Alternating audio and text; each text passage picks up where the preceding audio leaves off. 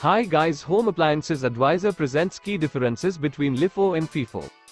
LIFO is a form of inventory management wherein the product or material received last is consumed first and thus the stock in hand consists of earliest consignment. On the other hand, FIFO is another method of inventory management in which the material received first is consumed first, i.e. the issue of goods is done from the earliest lot and the stock in hand comprise of the latest lot.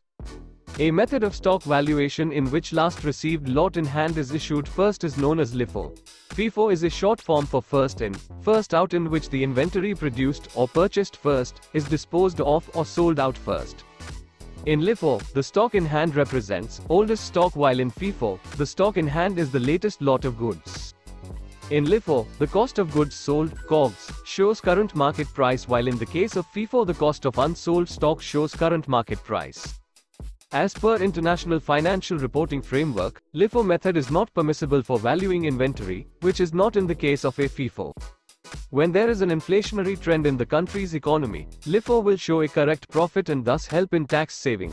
However, it is just difference between LIFO and FIFO. LIFO is a form of inventory management wherein the product or material received last is consumed first and thus the stock in hand consists of earliest consignment. In FIFO, a little number of records are being maintained. Unlike LIFO thank you for watching video please like, subscribe, comments and share prepared by Mohan Chandra Papane.